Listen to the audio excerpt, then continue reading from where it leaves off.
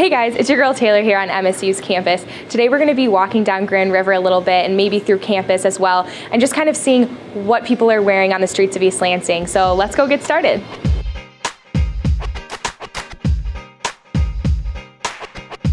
Hey guys, we're here on campus with MSU hockey player Michael Merrifield. So Mike, where are you coming from today? Uh, I'm just coming from class. Just coming from class. All right, and what are you wearing to class today? Is this like a normal outfit for you to wear to class? Yeah, you know, just uh, some nice jeans, a V-neck, and a, a small track jacket, just because it's a little windy out today. Yeah, definitely. What it kind of inspires your style? Like, where do you shop?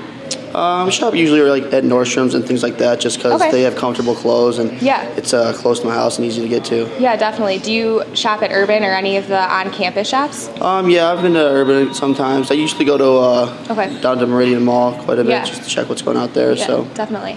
And then being an athlete and seeing kids on campus just kind of wearing sweats and stuff like that, do you ever wear sweats to class or do you kind of keep it classy, keep it nice? um, I try and keep it classy. Okay. You know, represent the program right. Yeah, definitely. I think uh, getting out of bed and getting dressed is important. Uh, Right. part, uh, important way to start your day. So, Thanks, Mike. no, no problem. Hey guys, we're here with Scott in Urban Outfitters. So Scott, what are you wearing today? Um, today I am wearing a beanie, an old band tee, a basic hoodie with my jacket, Great. and some black skinny jeans. Cool. So is this kind of a style that you're comfortable wearing day in and day out? Is this your kind of fashion that you go with? Yeah, it stems from just listening to a lot of like punk and indie bands and Right. kind of that being my interest. So just looking at that scene and just Right, seeing what they're kind of wearing. Yeah. Lots of black. Lots of uh, black. So that's your color of choice is black? If you can call it a color, Okay. yeah. Would you kind of be comfortable wearing dressing it down and doing sweats or for say going on a date or something like that, would you dress it up? I don't really dress down a whole lot. Okay. This is kind of, I guess, just basic. Um, Yeah, just never you? really. Yeah, just me dressing up. You know, with black jeans, you can kind of, you can kind of dress those up a little easier. Right. Get like a collared shirt or something. Yeah, on, definitely. Other than that, you know, just kind of my fashion is low. Okay, You low know, key. just low key. Yeah, for sure. Wear what I'm comfortable in. Yeah.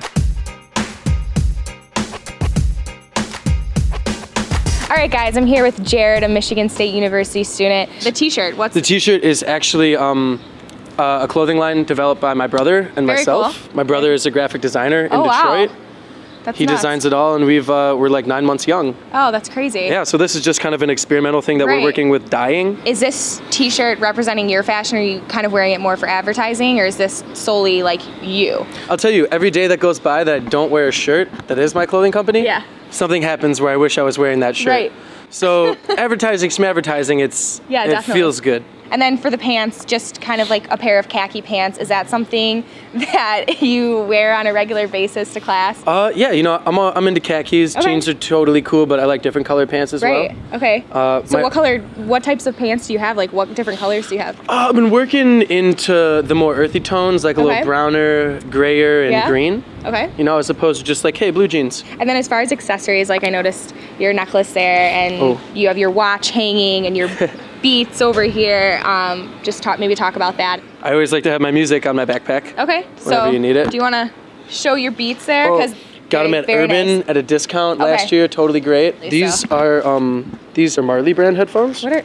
so like I usually keep them on here just Okay. in case I need some quick listening Yeah. going on. And the watch is broken. But it's just hanging because Sentimental. what let's see what else your backpack bags for guys are kind of being more popular lately is that something that you would ever rock If I had the loot to drop on like a dope, cool, fresh looking backpack, Yeah.